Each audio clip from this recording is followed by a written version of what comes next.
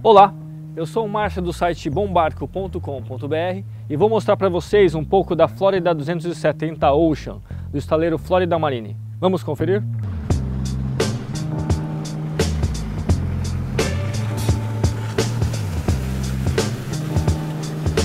Essa é uma lancha de pesca bem equipada para a prática do esporte.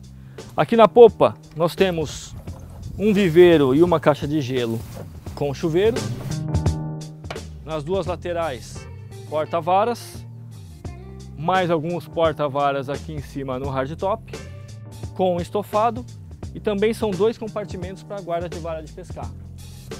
No piso são dois paióis com caixa de peixe removível. E aqui nós temos o posto de comando e o console central. Como vocês podem ver, o posto de comando é bem amplo para a instalação dos equipamentos.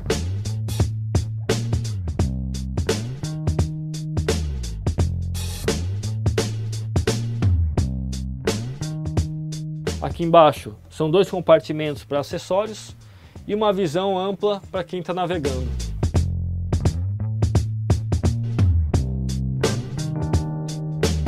Logo abaixo do console central, nós temos um banheiro bem equipado com pia, vaso sanitário, com aproximadamente 1,90m de altura. E aqui na proa, nós temos um amplo espaço ideal para navegação em família.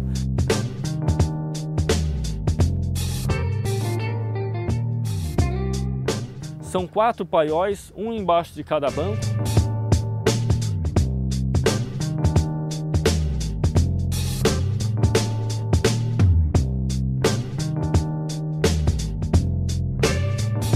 Costado é bem alto, o que protege de respingos durante a navegação. Vamos conferir?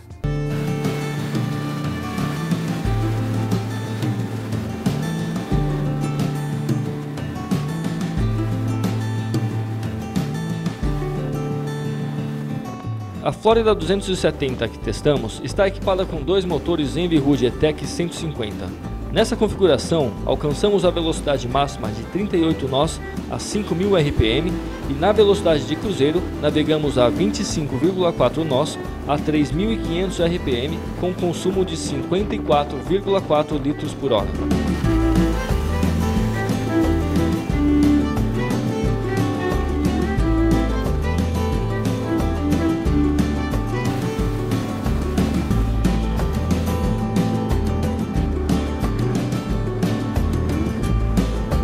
E esse foi o teste da Florida 270.